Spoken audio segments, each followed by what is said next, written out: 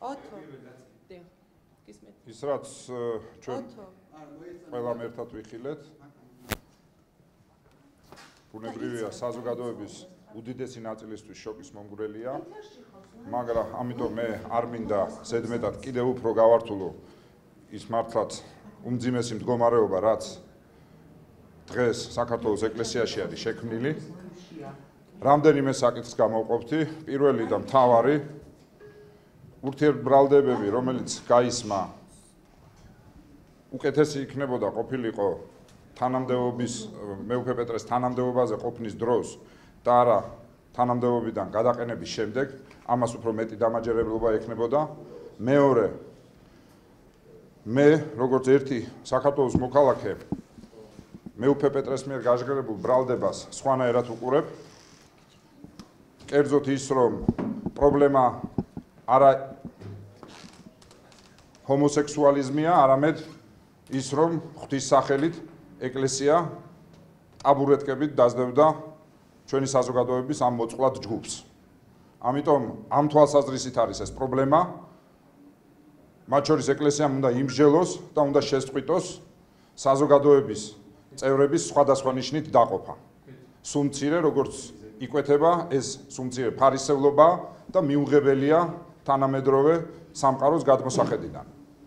რაც შეეხება თავად ამ ფაქტს სამწუხაროდ ჩვენ ესქატოლოგიური ბოლოჟამის მომსწრე ვართ და როგორც წესი ინსტიტუტები რომლებიც შუა საუკუნეობრივი მეთოდებით იმართებიან სადაც სიახლე არ ხდება და 40 წელიწადია პრაქტიკულად ოთახის განიავება არ ხდება ფიგურალურად რო ვთქვათ ასეთი რაღაცეები ბოლოჟამს არის დამახასიათებელი.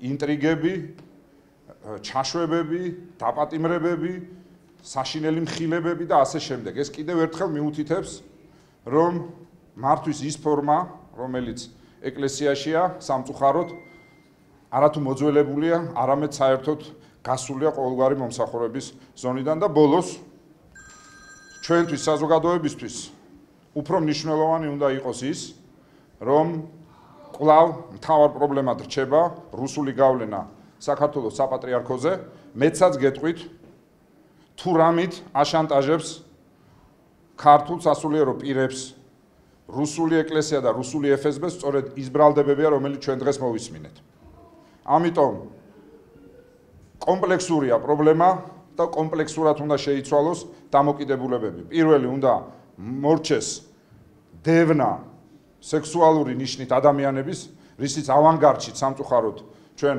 ეკლესიის ძალიან დიდ ნაწილს ხედავდით.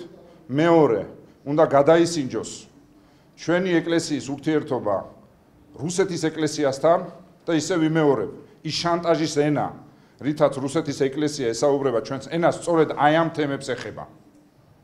და ამიტომ ეს ტაბუები უნდა მოიხსნას. თუ ჩვენ მართლა გვინდა რომ საქართველოს ეკლესია იყოს ღვთისა და ერის სამსახურში და არა ოკუპანტის სასახურში. ეს თემებია მთავარი, ჩემის აზრით, რაც შეეხება იმ ბრალდებებს, მე უბრალოდ იმას არც გავიმეორებ, იმიტომ რომ ამის საფუძვლები სხვაგან დევს.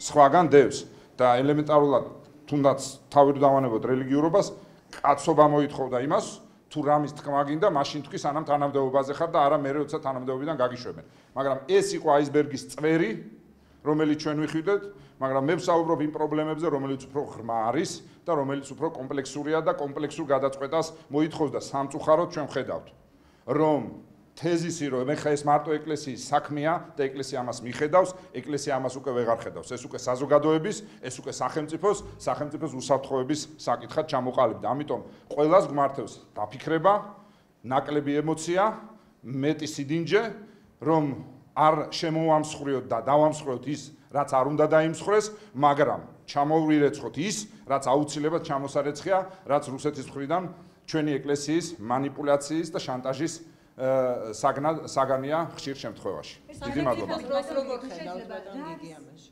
დიახ, ეს რომ დავამთავროთ, ამოვწუროთ. რაც შეეხება სახელმწიფოს როლს, სულიად მკაფიოდ გამოიკვეთა ერთი რამ. ჩვენ შეიძლება მოგწონდეს მეუფე იაკობის ლაპარაკი, ან არ მოგწონდეს, მაგრამ სრულიად მიუღებელია პოზიცია, რომელსაც მათ სხვათა შორის აწუგა განკვეთილი მეუფე პეტრე საუბრობდა, რომ თითქოს თითქოს ის მთვალი იყო და არაადეკვატურია. ეს საერთოდ მიუღებელია, იმიტომ რომ მე ძალიან კარგად მახსოვს ამ მეთოდს ხმარობდნენ მათ შორის мама გაბრიელის მიმართ, როდესაც ის არასასურველ რამებს ამბობდა. თვალიან გიჟია. ამიტომ ეს არ უნდა იყოს პასუხი, ჩვენ საქართველოს დამოუკიდებლობის ისტორიაში პრაქტიკულად პირველად დადასტურებულად ხედავთ ხელისუფლების ცდელობას პატრიარქის შეცვლის და სასურველი პატრიარქის გაყვანის.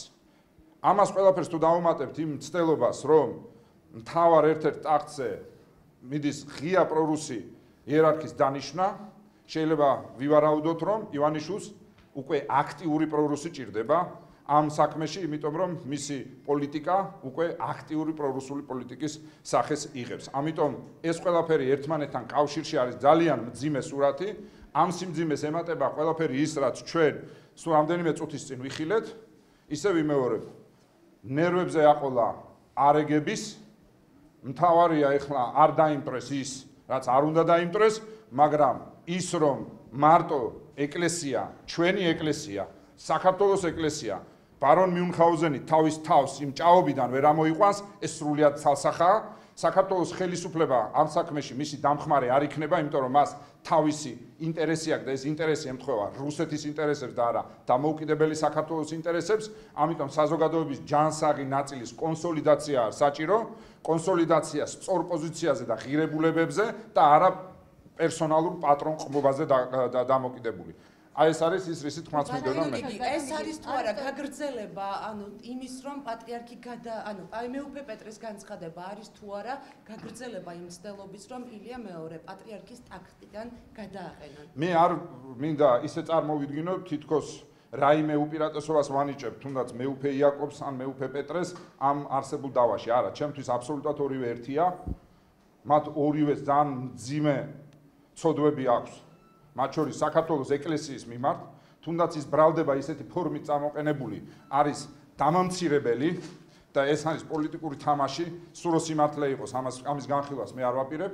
აქ საუბარია ორივე იერარქმა შოკის მომგვრელი, რამ ცივი წყალი ფეხნაბანი წყალი გადაასხა საზოგადოებას და საზოგადოება ქართული საზოგადოება ამას არ იმსახურებს. არავის მიმართ რაც არ უნდა დიდი კულკუ ბარტყუ ეხულოს ვიღაცას ეს არ აძლევს უფლებას რომ გამოვიდეს და მოისაქმოს საზოგადოების ყველაზე წმინდა გზნობებზე.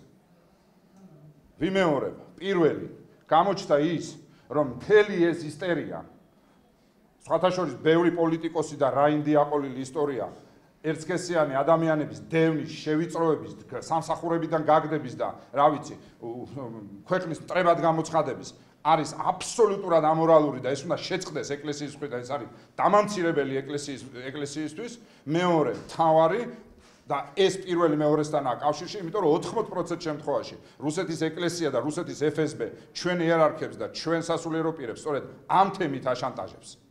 და ეს უნდა ვიცოდეთ. და მთავარი ისე ვიმეორებ, ჩვენი ისტორიული ამოცანაა დღეს. და მე მინდა ყველა იმ სასულიერო პირს და იერარქს ვთხოვო, რომ ეხლა ყველა ემოცია გვერდზე უნდა გადაიდოს და მთავარი რამე გაკეთდეს. დავიწყოთ მუშაობა იმაზე და ამის ნიშანი იქნება უკრაინის ეკლესიის ავტოკეფალიის აღიარება.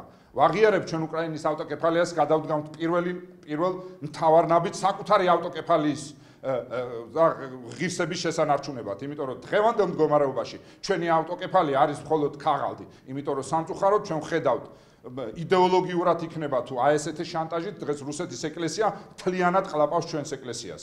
აი ეს პრობლემებია უფრო მნიშვნელოვანი ვიდრე ის რაც შოკის მომგრელი ობიექტურად რაც ჩვენ ვიხილეთ დღეს ეთერში. დიდი მადლობა. გიორგი მამალად წავა.